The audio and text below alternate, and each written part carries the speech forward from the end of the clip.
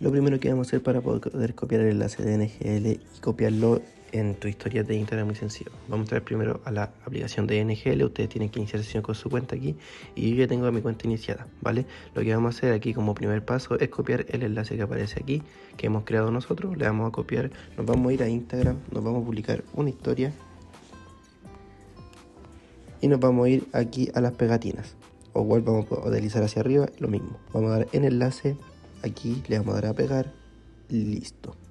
Aquí tendríamos listo nuestro enlace de NGL, el cual podríamos compartir nuestra historia. Cuando nuestros seguidores hagan clic en el enlace, lo que va a aparecer va a ser una pregunta y a nosotros en la sección de inbox nos va a aparecer la pregunta, podemos contestar y compartirla en la historia de Instagram sin ningún problema. Si no más dudas, déjanos un comentario en este video en nuestro sitio oficial trucostein.com y trucosat.com.